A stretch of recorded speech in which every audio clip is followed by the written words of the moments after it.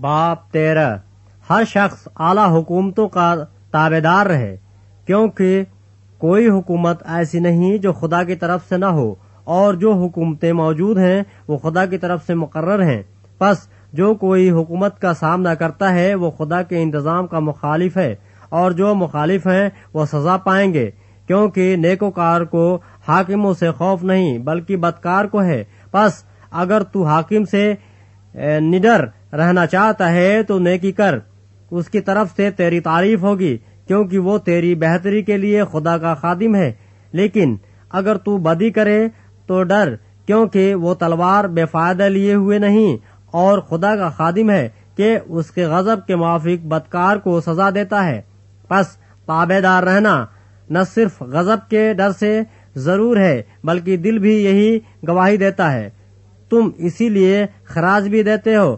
کہ وہ خدا کے خادم ہیں اور اس خاص کام میں ہمیشہ مشغول رہتے ہیں۔ سب حق کا حق ادا کرو۔ جس کو خراج چاہیے خراج دو، جس کو محصول چاہیے محصول، جس سے ڈرنا چاہیے اس سے ڈرو، جس کی عزت کرنا چاہیے اس کی عزت کرو۔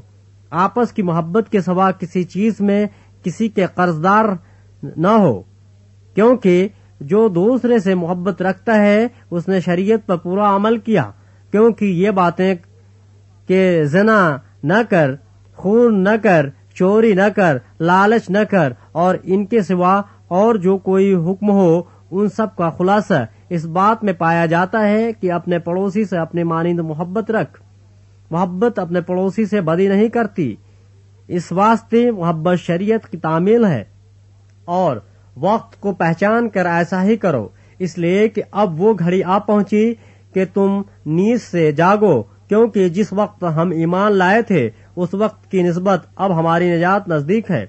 رات بہت گزر گئی اور دن نکلنے والا ہے۔ بس ہم تاریکی کے کاموں کو ترک کر کے روشنی کے ہتھیار باندھ لیں۔